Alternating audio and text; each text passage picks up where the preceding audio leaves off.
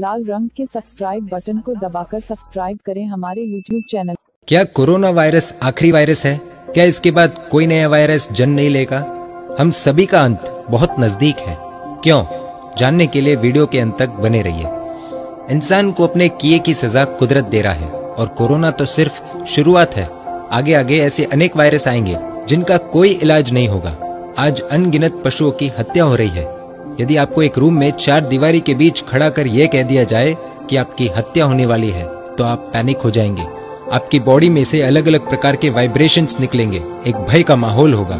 ठीक ऐसा ही माहौल जैसा आज हमारा है, कोरोना वायरस को लेकर। मारने वाले के प्रति दुर्भावना आएगी और मृत्यु के पश्चात यदि कोई आपका मांस खाएगा तो क्या आपको लगता है उसके साथ कुछ नहीं होगा?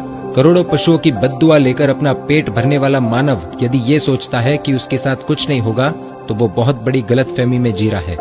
गौर से सोचिए, मासूम जीव की हत्या कर यदि एक व्यक्ति अपना पेट भरेगा तो उस व्यक्ति का दिमाग कैसा चलेगा?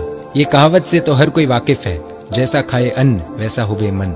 इंसान जब मांस का भक्षण करता है तो अनगिनत बीमारियों के साथ ऐसे अनेक बुरे विचारों का भी जन्म होता है, जो न सिर्फ़ उसके लिए, बल्कि पूरे विश्व के लिए खतरनाक होते हैं। अनेक शास्त्रों में, हिंदू शास्त्रों में भी मांसाहारी भोजन का मना किया गया है।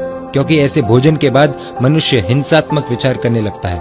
और विचारों की ताकत इतनी ज़्यादा होती है कि व्यक्ति जैसा विचार करता है, ठीक वैसा ही वातावरण उसके आसपास बनता जाता है। कहते हैं, एक गंदी मछली पूरे तालाब को गंदा कर देती है।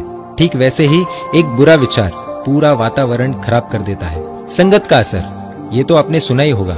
सोचिए, आप एक ऐसे व्यक्ति के साथ रहते हैं और वह व्यक्ति हमेशा विनाशकारी विचार करता है। तो धीरे धीरे आप भी ऐसे सोचने लगेंगे। उसके बाद आपके आसपास के लोग ऐसा सोचने लगेंगे और ये चेन ऐसे ही चलती जाती है। आज चीन के अनेक लोगों में अमेरिका के नागरिकों के प्रति नकारात्मक विचार चल रहे होंगे और अमेरिका में अनेक लोग ये इच्छा करते होंगे कि चीन समाप्त हो जाए।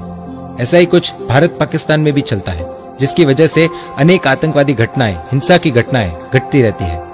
यह है विचारों की ताकत।